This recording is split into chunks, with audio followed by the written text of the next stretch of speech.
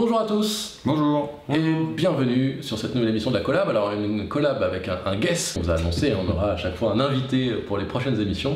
Et aujourd'hui on reçoit Timothée. Salut Bonjour, salut. Bienvenue. Alors vas-y, tu peux te présenter et nous en dire un peu plus sur qui tu es. Alors je m'appelle Timothée, je travaille au Dôme. Donc le Dôme c'est un centre de sciences qui est situé sur la presqu'île de Caen. Et notre travail c'est de faire la médiation entre les sujets de sciences et de société et euh, les publics au pluriel. Et donc euh, on fait ça par le biais d'animation en parlant de plein de types de sciences différentes parce que c'est assez large. Et moi mon rôle au sein du Dôme c'est euh, de dérouler des programmes de recherche participative et de travailler sur la thématique du jeu. Et ouais, c'est pour ça euh, qu'on s'est déjà rencontrés, parce qu'on se croise au Dôme, et c'est pour ça que je me suis permis de, de t'inviter sur cette émission, puisque euh, tu partages cet intérêt pour le jeu et pour le, plus spécifiquement le jeu vidéo aussi, euh, comme ça peut être le cas avec Laurent. Et donc tu as, choisi un jeu pour aujourd'hui, même choisi une compétence, on en reparlera un petit peu plus tout au long de l'émission. Et tu viens nous présenter quoi et jouer à quoi avec nous? Alors aujourd'hui, on va jouer à Portal. Donc Portal, c'est un jeu de réflexion avec des petits éléments de plateforme. Et ça a été créé par Valve. Alors Valve, souvent on le connaît maintenant pour Steam. Steam, c'est la plateforme euh, de bibliothèque de jeux où on peut acheter euh, des jeux avec des promotions euh, extrêmement basses et tout. Mais euh, ils sont surtout connus à la base pour deux jeux, donc euh, Half-Life, qui est un FPS euh, qui a un petit peu euh, participé au succès du FPS dans l'industrie, et Team Fortress, qui est un jeu en ligne aussi. Et donc Portal, il est sorti en fait en 2007 dans un package qui s'appelait la Orange Box et qui contenait Half-Life, Team Fortress et Portal qui est arrivé un petit peu euh, à cheval entre deux gros géants du jeu vidéo. Et en fait, il a eu beaucoup de succès. Et donc voilà, on va jouer à ça. Et euh, la particularité, c'est que c'est un jeu qui à la base est- a été créé par des étudiants pour un projet de master.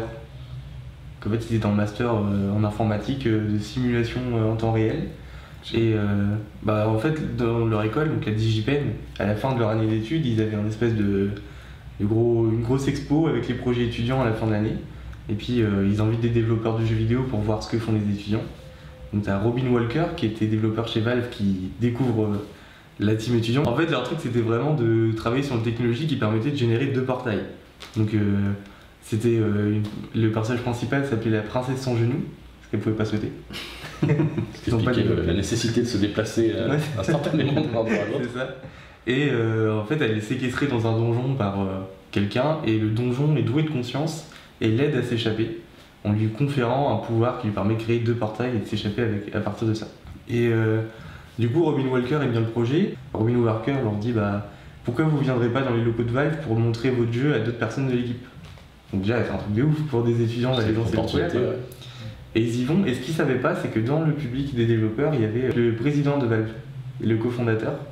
Et euh, il est tombé sur euh, la team étudiant qui a présenté le jeu, et dans sa tête, enfin il raconte ça comme ça en tout cas, il avait l'impression de voir les Beatles qui font une chanson, et qui leur dit ouais, enfin bon, la chanson elle est sympa, mais après on aura nos vraies vies, des vrais travails, et puis euh, bah, j'irai faire plombier et euh, avoir un vrai métier derrière. Quoi.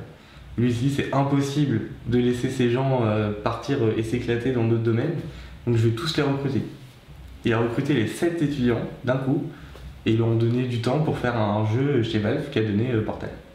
Ok. C'est les mêmes étudiants qui ont développé jusqu'au bout pour arriver à, la- à cette fin. Ouais, L'histoire est belle. Carrément. Alors nous souvent, euh, et j'imagine que c'est ton cas aussi, on, on choisit un jeu avec Laurent qui nous a soit l'un ou l'autre euh, apporté, ou euh, qui a compté dans notre parcours, euh, ou les deux, ça arrive. Dans ton cas, pourquoi ce choix? Euh, je crois que c'est les deux, c'est un jeu qui m'a marqué en tant que gamer parce que j'en ai des souvenirs inoubliables et même si c'est un jeu qui de base se rejoue pas, j'y rejoue tout le temps parce que j'adore me retrouver immergé dans cet univers-là.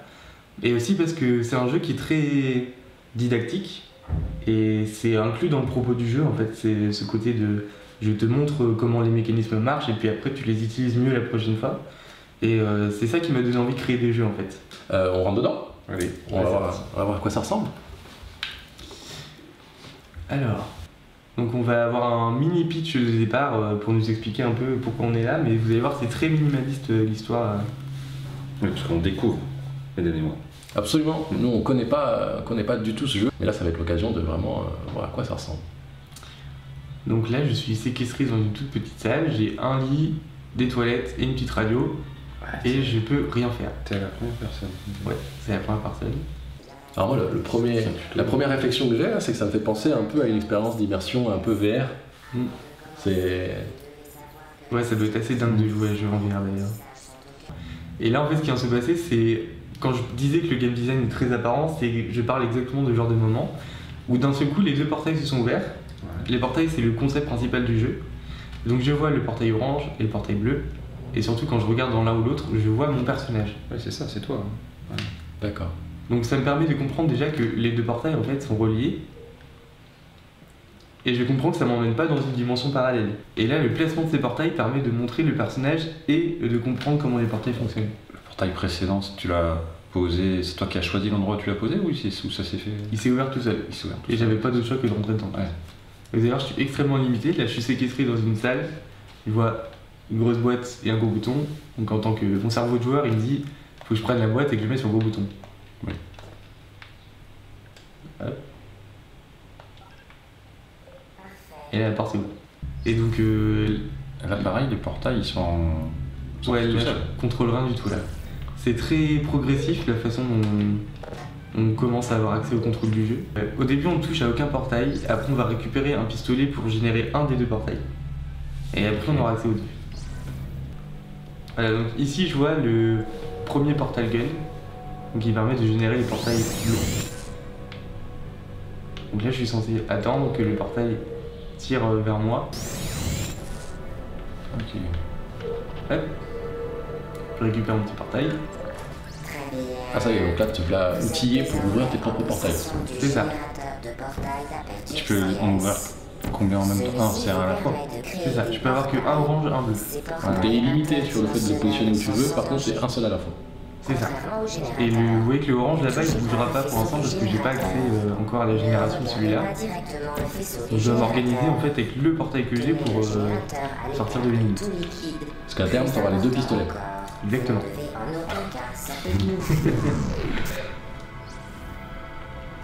Et donc le, la voix enregistrée, enfin la voix qui nous parle en fait quand, on joue au jeu, euh, elle est très didactique au début, elle est très froide, c'est très administratif en fait la façon dont elle s'adresse à nous, mais elle nous glisse des petits éléments du genre euh, le petit portail qui détruit les objets en sortie de test, elle nous en garde sur le fait que ça, ça peut euh, émanciper nos dents. Il y a un risque. Mais elle le dit d'un ton très formel quoi. D'accord. Et ça te met vraiment dans la peau du cobaye, t'es vraiment la souris euh, qui vit l'expérimentation, euh, qui subit plus qu'elle la vit en fait. Ah, C'est vraiment le côté méta dont tu parlais, c'est-à-dire qu'à la fois de toute façon on découvre, donc il y a l'aspect tuto, mais en plus ils en jouent au niveau scénario quoi, puisque Oui. on- C'est ça, et puis enfin, on est dans un, un environnement fermé, il y a des caméras, c'est-à-dire qu'il y a des gens qui nous observent. c'est anxiogène quoi. Exactement. Donc là vous voyez que le, le portail orange il a pas bougé depuis le début, Ouais. c'est juste que je suis entré par là, et je vais en ressortir par là, en bougeant du portail comme ça. Ok. Donc toi faut que tu tu te repères, et il y a une compétence évidente là qui est l'orientation dans l'espace. hein. pour savoir où, où est-ce que je veux aller. Le plus gros tour de force de ce jeu là, c'est d'avoir réussi. Là, les tutos, les salles qu'on est en train de traverser, à aucun moment la voix nous explique comment sortir des salles. En fait, tout ce qu'elle nous dit ne sert à rien dans le jeu finalement. C'est juste, euh, t'es dans un centre de sciences, euh, tu vas perdre tes dents si tu passes par ce portail là. T'as présenté le Dôme tout à l'heure comme un centre de science, euh, ça se passe beaucoup mieux. Ça ressemble à ça. Ça se passe beaucoup mieux. hein. Il y a une couleur en commun, mais il n'y a que la couleur Ouais, en commun. c'est un peu pareil, on, est juste pas, on peut pas faire de portail. mais Et on perd pas ses dents au Dôme. C'est ça. Ah, Il y a une boîte qui tombe. Enfin, Voilà. Et donc là, on va découvrir, euh, on va commencer à découvrir un aspect extrêmement important de ce jeu là. Enfin, si je le fais là, Ah, il n'y a pas que toi que tu déplaces. je vais faire un test. tu peux. Oh Oh Ah, ça y est, moi. moi, ça y est, ça m'a perdu. Oui, C'était juste pour le montrer ça et vous allez voir après comment ça va être utilisé par le jeu ce, ce que je viens de faire.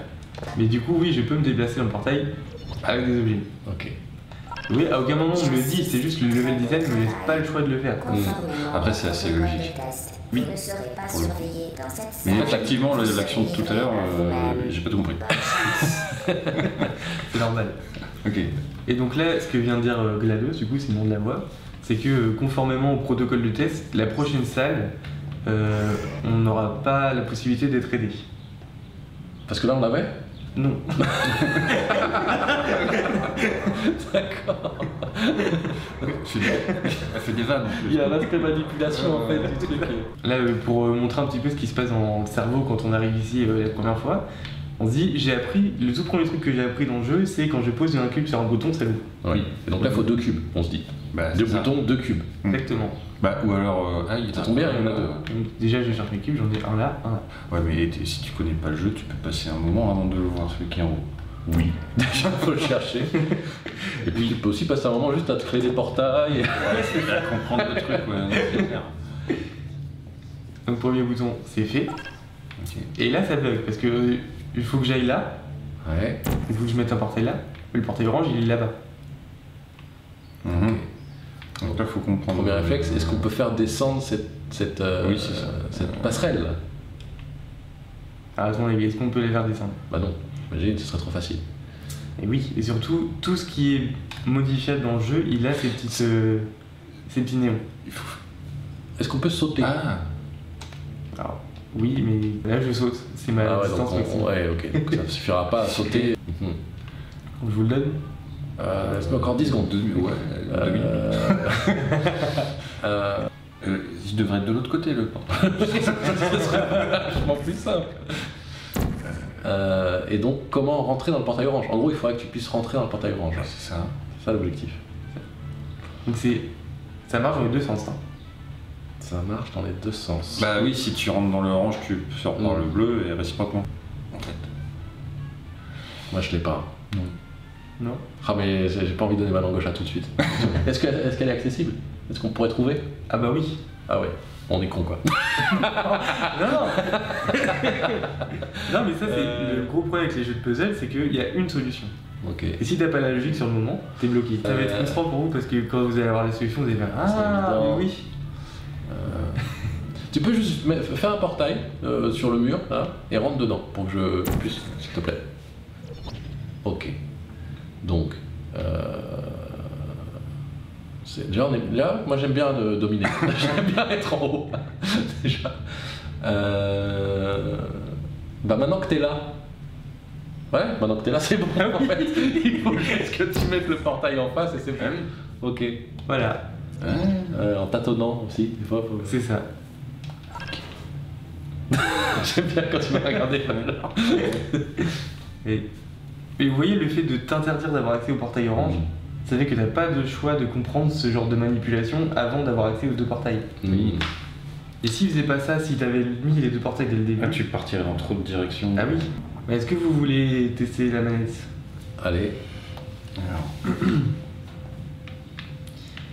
Donc là, vous allez apprendre deux choses importantes au niveau des mécanismes. La sécurité est au cœur des préoccupations du centre d'enrichissement.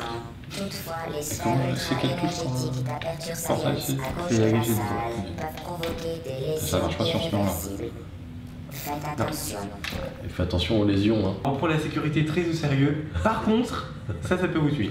Bonne chance ça là, ça peut me tuer. Et j'imagine que si on meurt, on repop dans la même salle quand même. Oui. Pas trop punitif non plus. Voilà, c'est ça. Le but, c'est vraiment de d'apprendre en fait. Et de... Là, faut réussir à passer par, à aller là-bas. Ouais. Et bah, c'est ça. euh, Oh là Ah, tu peux créer. Ah bah voilà. Voilà. Là, t'es mort. Donc, tu viens d'apprendre à appeler Tu des peux bouger Tu peux bouger ton. Non, t'es mort. Et c'est ça. Et tu vas revenir au début de la salle.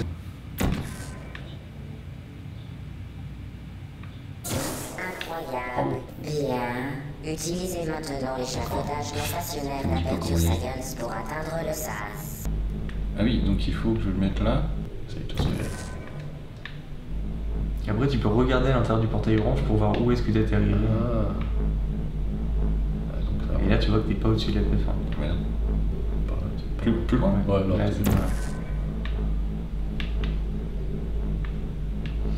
donc, tu vois, le fait de savoir où est-ce que tu es censé aller, c'est aussi extrêmement important quand tu fais un puzzle parce que si jamais tu sais pas où tu vas et tu sais pas comment tu es censé aller là où tu sais pas où aller, ça fait beaucoup trop de flou et c'est pas motivant. Voilà. La force de Théo. Ah, Yes.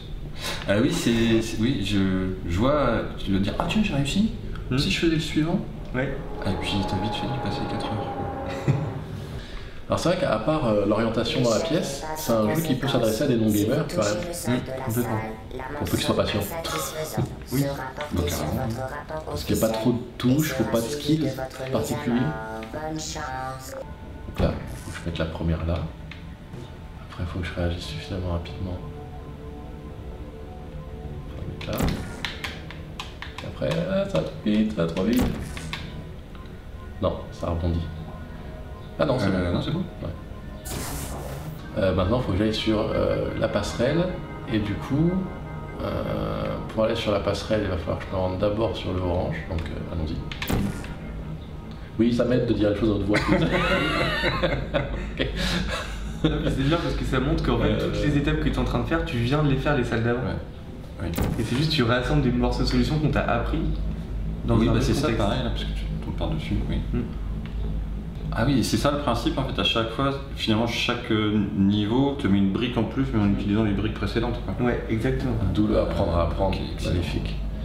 Et euh, ouais, on va se poser la question de est-ce que ça aide de co- coopérer? Hop, hop là Oh, belle réception. Sur ce jeu? Ouais. Ah bah, tu vois, tu y arrives probablement mieux en réfléchissant à plusieurs. Ouais, Que diraient les nous du passé du, du jeu précédent Et là, faut sauter. Après, dans. Portal 2, il y a un mode de. Quoi Ah oui. Alors là, tu vas apprendre un truc extrêmement important. Alors là, pour je- moi est la meilleure utilisation du portail du c'est le côté Superman. Si tu fais un truc dans le sol, tu peux pas. Ouais, ok, il Tu vas m'encourage voler. à- Bon, clairement, je t'ai vu faire tout à l'heure, c'est ça qu'il faut faire. Pas chance. Mais comment il a fait pour me propulser de là-bas à ici Alors tu viens d'apprendre un. un élément de. comment ça s'appelle? Dynamique des masses. Cas de découvrir, parce que je sais pas si on a appris. hein. Vous avez, voilà, vous avez décou- découvert un mécanisme de la dynamisme des masses. Consiste à dire que ce qui, une masse qui rentre dans une vitesse dans un portail sort avec la même vitesse dans le deuxième portail. Ah ouais, eh, on va illustrer à nouveau ce que tu viens de dire. Voilà, ce qui entre rapidement. Parce que là, sort vu rapidement. que c'est une chute libre, je Ah, garde la oui. force de ma chute pour. euh, Et ça, c'est correct. C'est correct. En fait, c'est juste que tu, tu vas transformer ta vélocité descendante en vélocité horizontale. Ce qui est logique vu le concept. Ouais, d'accord. Oh. Donc c'est un truc, si tu l'apprends en cours de physique, tu dis waouh non. Là tu le vis et tu l'appliques en fait directement. quoi. Donc, C'est assez dingue. En tant que médiateur scientifique de voir ça, ça me fait beaucoup plaisir. je me dis le jeu vidéo il arrive à faire des trucs incroyables quoi. Mais oui, ça en VR, encore une fois, en, en réalité virtuelle, ça, Ouais. ça va être une C'est folie. à ça que quoi. je pensais quand t'as dit vert, je suis vu en train de faire ça. Et je me suis La oh oui. pour sauter dans le portail. Faut bien le dire. Ouais.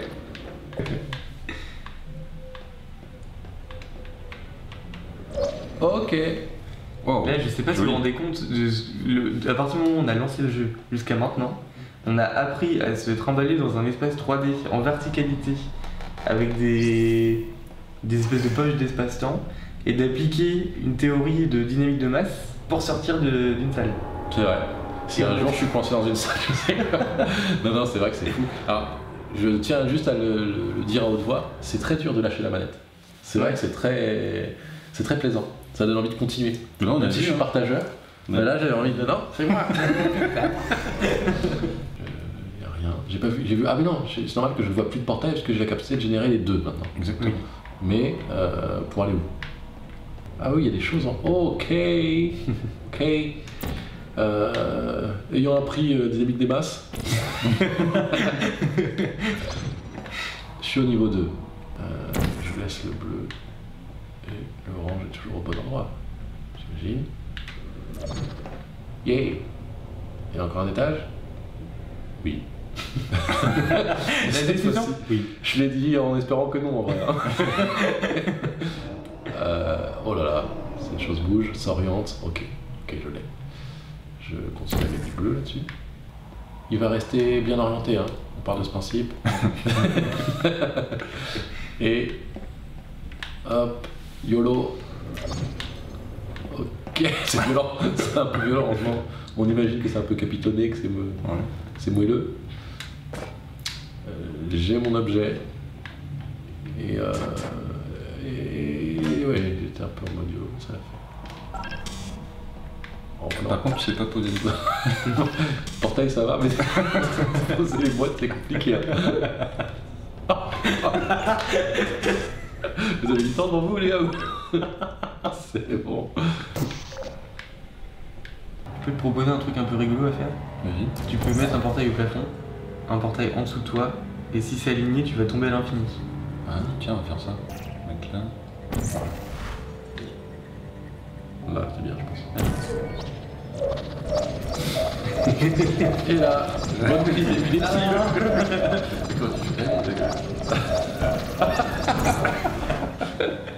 Et là, t'es cassé, tu sais plus où t'es. Alors, Heureusement qu'on n'a pas encore mangé, hein, parce que là, c'était un coup. Tu tombes à l'infini, tu prends de la vitesse, tu prends de la vitesse, tu prends de la vitesse.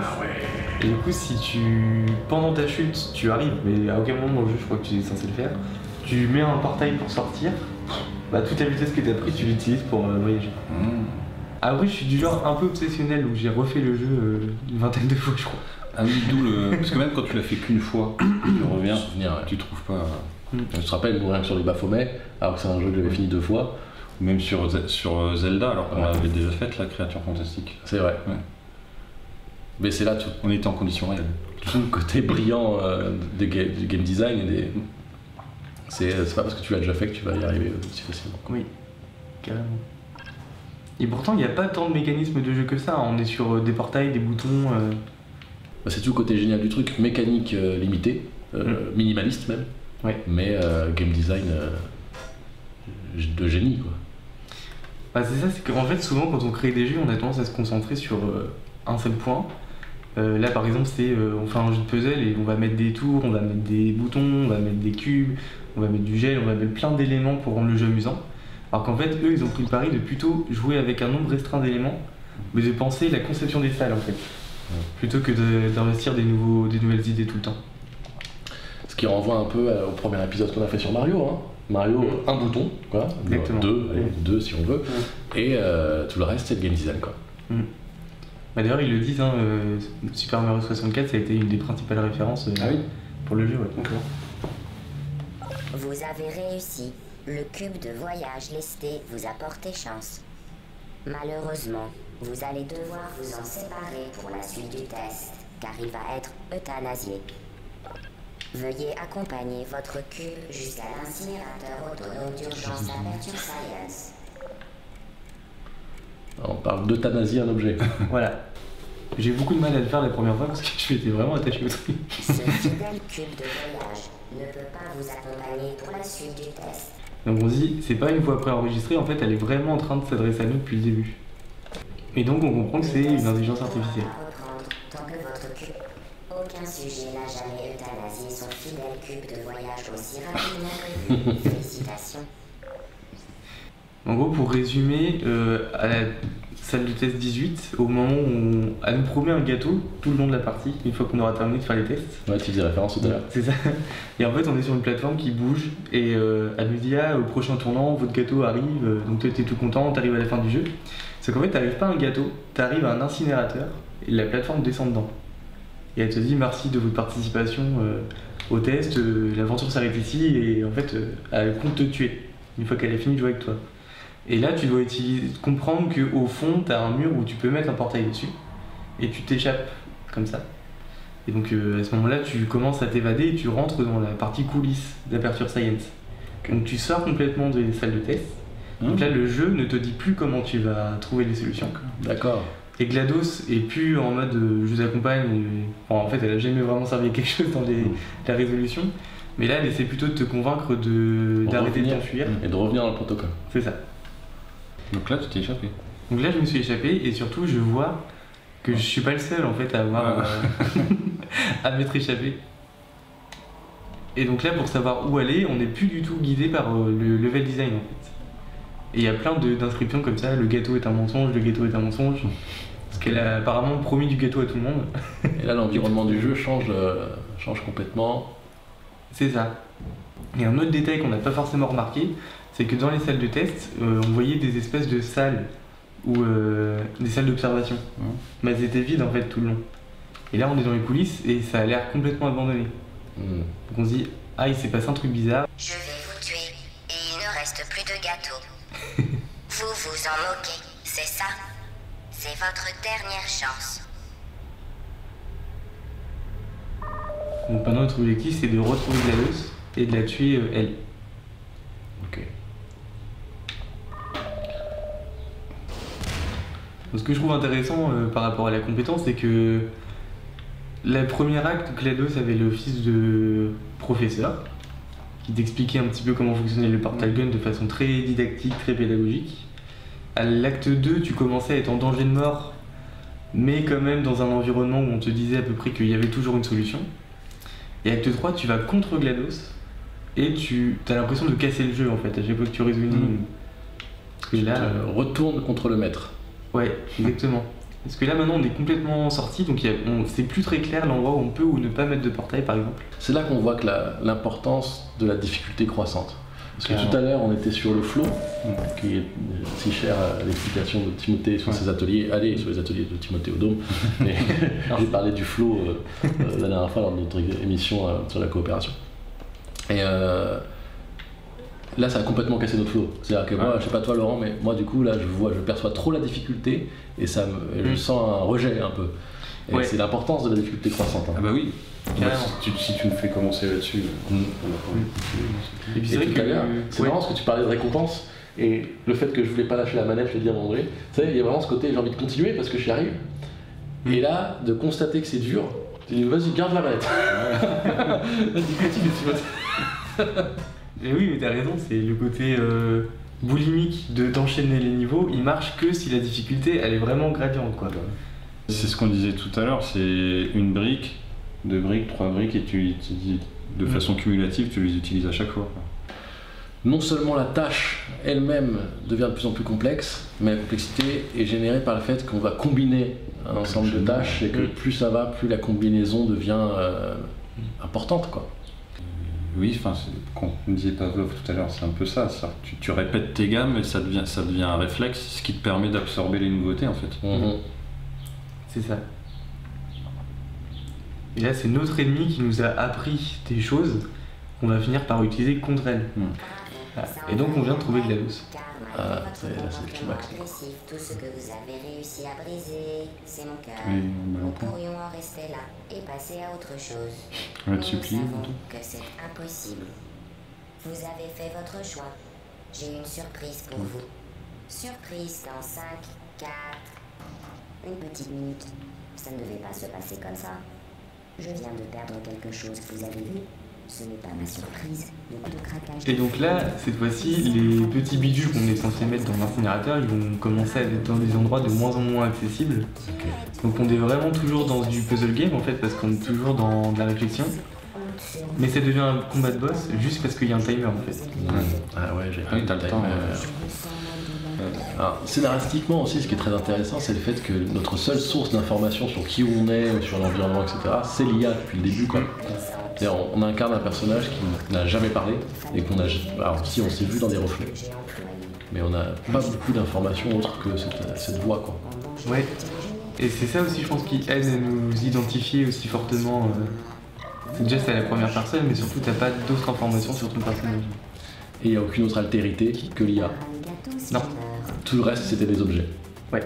Alors, est-ce que l'IA est un objet.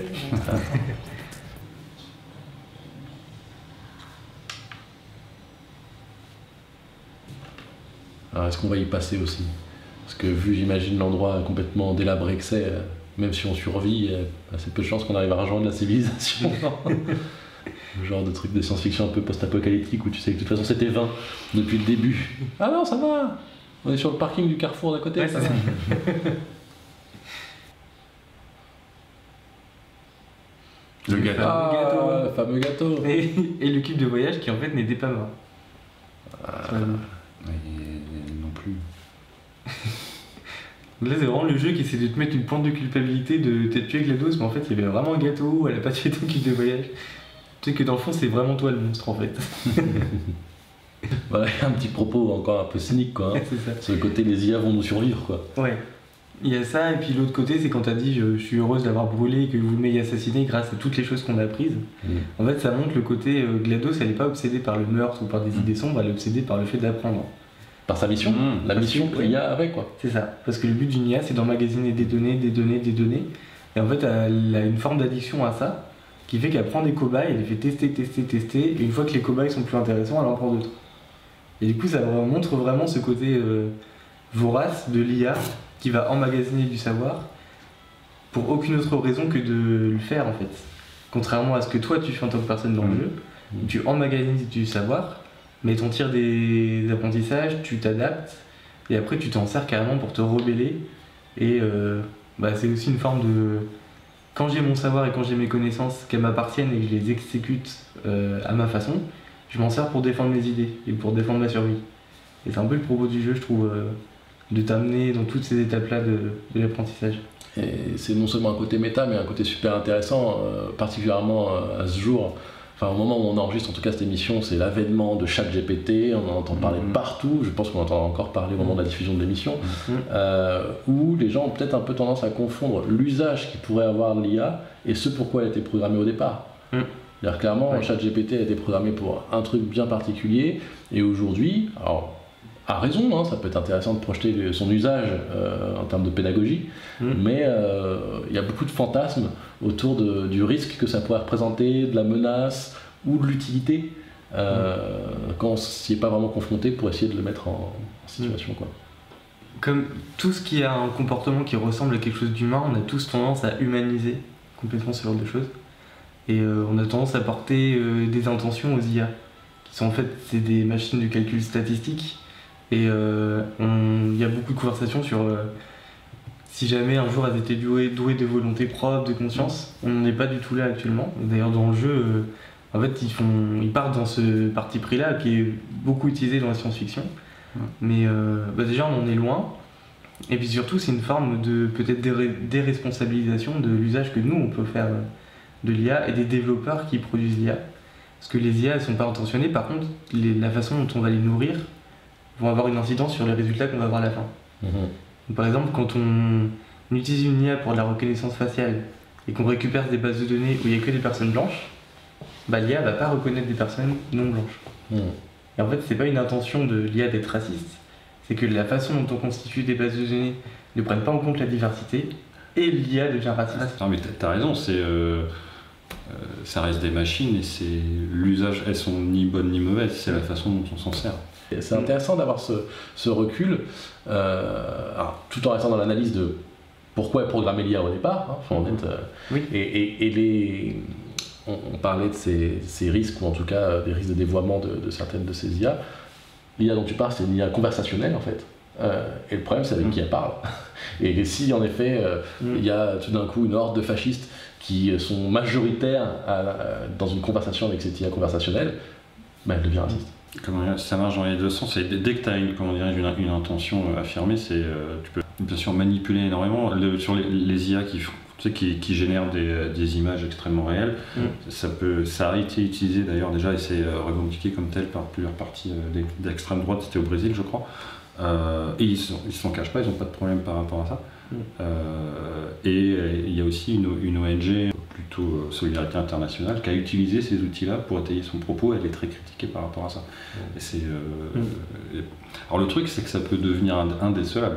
à un moment donné.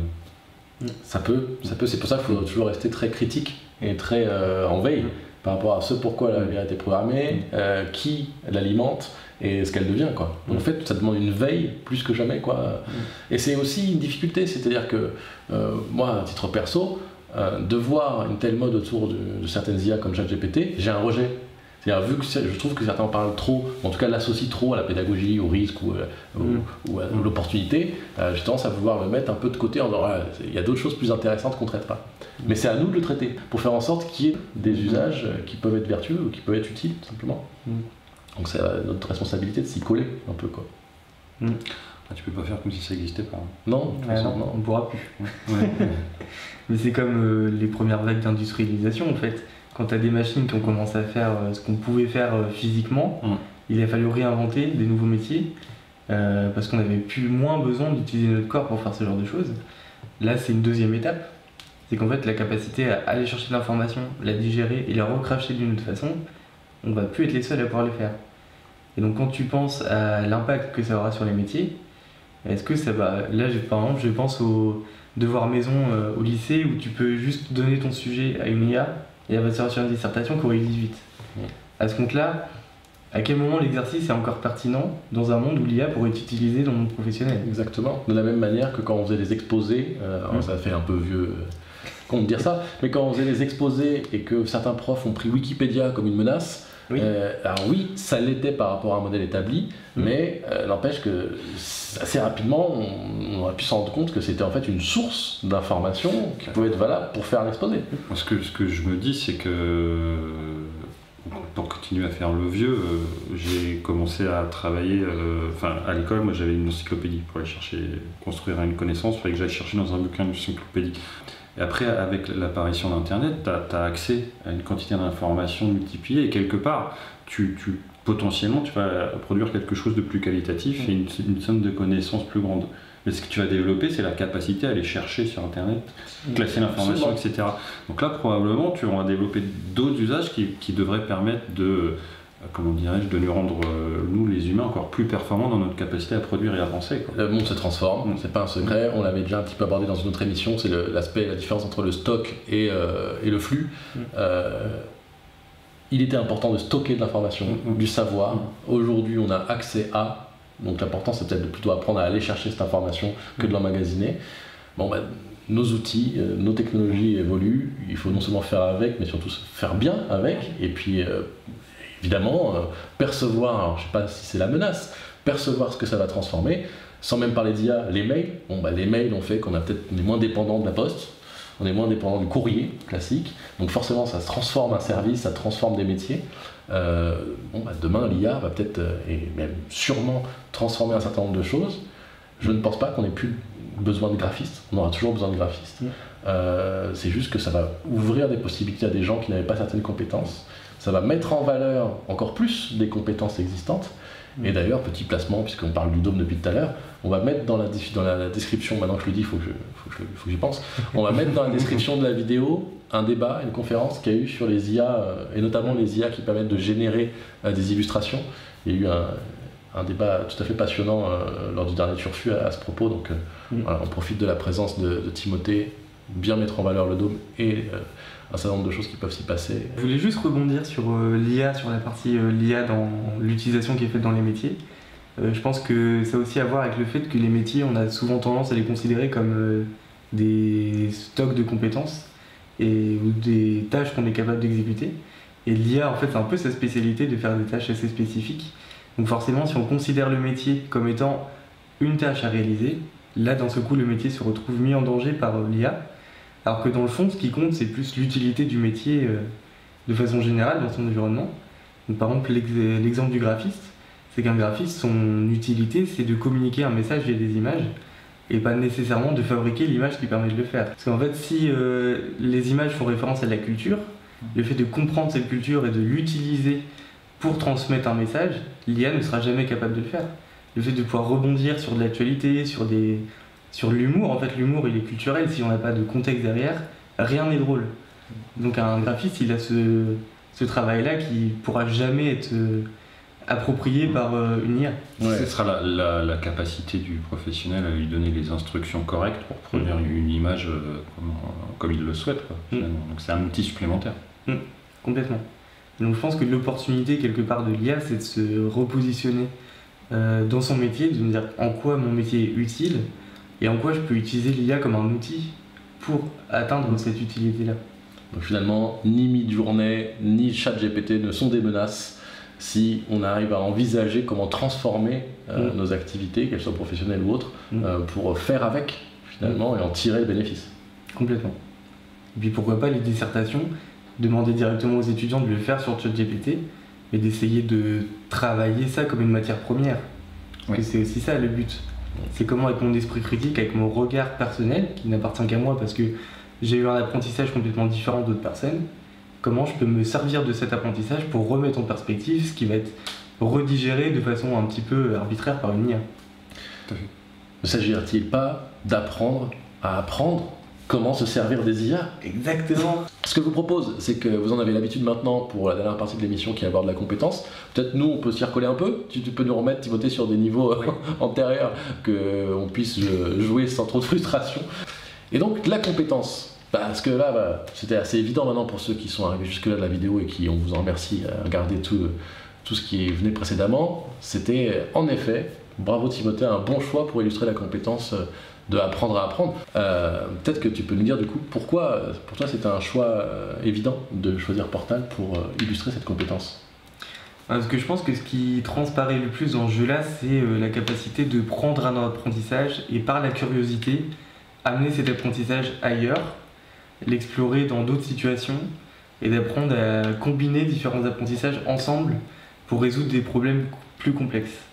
Et euh, pour moi, la clé vraiment de, d'apprendre à apprendre, c'est le fait d'être curieux euh, et d'être dans la capacité de s'approprier ce qu'on a appris.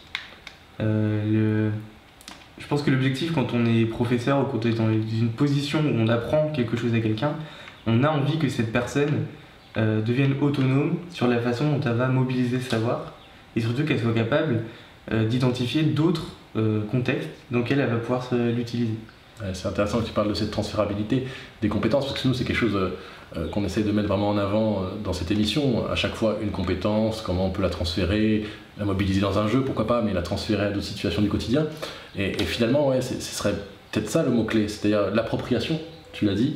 l'appropriation, puisque j'imagine que l'intérêt, c'est pas forcément de pouvoir remobiliser les compétences dans le même contexte que dans celui où on a pu l'apprendre, mais bien être en capacité de la transférer à d'autres contextes différents voire plus complexe, qu'il a bien illustré là, c'est ce niveau final finalement qui euh, nous a permis et qui nous a demandé de réutiliser tout ce qui avait été appris tout au long du jeu, euh, mais de l'appliquer de manière différente euh, dans ce contexte qui allait tout mobiliser à la fois. Ce qu'on peut retrouver finalement un peu dans la, vraie vie également. Bah D'ailleurs, je pense que c'est un peu le propos de l'émission de façon générale. De, on prend une compétence qu'on va apprendre dans un jeu, et le but c'est de savoir dans quel autre contexte on peut appliquer cette compétence. Donc là, par exemple, sur Portal, moi j'ai eu un cas concret où ça m'est arrivé. Donc euh, j'avais créé une association où on crée des escape games. Et un truc que Portal m'a appris, c'est que dans un jeu de réflexion, parce que ça ressemble beaucoup à un escape game finalement, euh, on passe par différentes étapes, on observe, on va émettre des hypothèses sur ce qu'on est capable de faire, et puis après on va la tester. Mais ce qui est important, c'est que les interactions que tu vas faire entre deux éléments de jeu soient amusants. Et donc on va pas réfléchir en termes de euh, je veux que cette personne arrive dans cette pièce et sorte par ici. On va plutôt essayer d'imaginer quelles sont les interactions qui pourraient être amusantes et faire en sorte que cette interaction-là soit la solution à l'énigme. Oui, parce que finalement, ce qui était gratifiant dans le jeu, au moment où on arrivait à faire quelque chose, on va le retrouver dans une démarche expérimentale. Mm. L'idée, c'est bien euh, d'essayer de, sur la base d'un premier apprentissage, en général, on a un petit peu cet enthousiasme, hein. on a un nouvel outil ou on a une nouvelle connaissance, on essaie de l'appliquer ailleurs, quoi. Mm. On voir, et là ça marcherait, et là ça fonctionnerait, et là qu'est-ce que ça donnerait, quoi. Et ce qui se passe dans le jeu, c'est le, comment dirais les différents apprentissages, les différents acquis qu'on a euh, bah, à, chaque, étape, comme des sortes de briques qu'on utilise, qu'on appréhende. Et ensuite, on est confronté à une nouvelle situation. par le jeu d'hypothèse que tu évoques, j'apprends quelque chose, j'intègre une deuxième brique et j'associe les deux premières pour aller en chercher une troisième, mm. et ainsi de suite, jusqu'à bah, à la fois enfin, générer quelque part euh, une habitude, un réflexe dans l'utilisation des premières briques et du coup, euh, la capacité à appréhender, euh, appréhender toutes, les, euh, toutes les nouvelles jusqu'à arriver à ce, bouquet final avec, j'ai mm. oublié le nom de l'IA d'ailleurs. GLaDOS. GLaDOS. Donc il y a vraiment cette idée, je pense qu'on l'a dit, hein, appropriation, expérimentation, et essayer d'un petit peu faire correspondre ce qu'on a en stock, ou ce qu'on a mm. identifié à d'autres situations. Et en plus, tu parles de situation professionnelle, je pense que la grosse différence dans la situation pro par rapport à un contexte d'apprentissage, c'est que la pédagogie, c'est comme je rentre dans un couloir, on me donne les briques petit à petit et j'ai toujours les bons outils au bon moment et on m'a appris dans quel endroit les utiliser, ce qui est exactement le début du jeu. Et dans le monde professionnel, donc c'est un peu la deuxième partie du jeu où tu t'évades des salles de test, c'est que d'un seul coup, plus personne te dit de quelle brique tu as besoin. Mmh.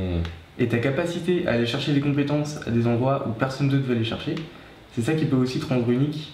Le fait de, par exemple, si tu es un gros joueur, d'aller chercher une compétence que tu as été chercher dans un jeu, ou le, si tu dessines mmh. euh, par passion, bah, d'être capable d'appliquer ce que tu as appris dans le dessin et l'appliquer dans la médiation ou, autre chose, c'est aussi ça qui permet de monter en compétence beaucoup plus rapidement. En tout cas, c'est ce qu'on essaye de démontrer avec l'émission de la collab et tu en as été un parfait exemple. Tu l'as dit tout à l'heure, la Portal t'a transmis des choses, t'as appris des choses que tu as remobilisées dans, dans, ton quotidien et dans d'autres expériences. Donc merci beaucoup Timothée pour ta participation, pour la découverte de ce jeu. Merci pour l'invitation. Euh, c'était un plaisir. Et puis bah, nous, on vous dit à une prochaine fois avec probablement un nouvel invité. Merci bien. salut. Merci.